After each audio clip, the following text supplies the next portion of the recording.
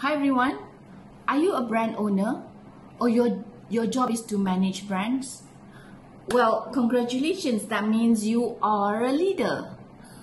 Now, what do I mean by that?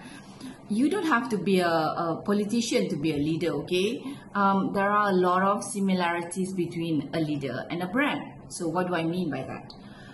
Um, leaders have followers, yeah? Brands have followers, you see? Both engage people and they both create what we call a tribe. So you see brand owners, brand managers, uh, brand custodians. As a leader, let me ask you this one question. Do you know why your followers follow you? Do you think people follow you because they want to help you increase your profit? Or create values to your shareholders? I don't think so. So, why then do people follow you?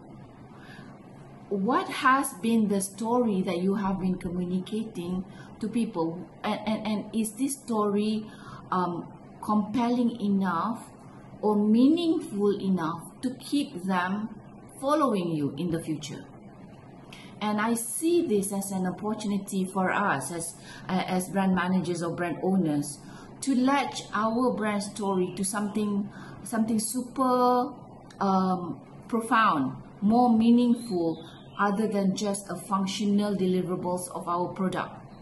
What is it that we can create um, in this uh, with our brand story to encourage everyone towards uh, becoming more positive or to create a better world. Think about it. I will be talking more about this next time. In the meantime, stay safe.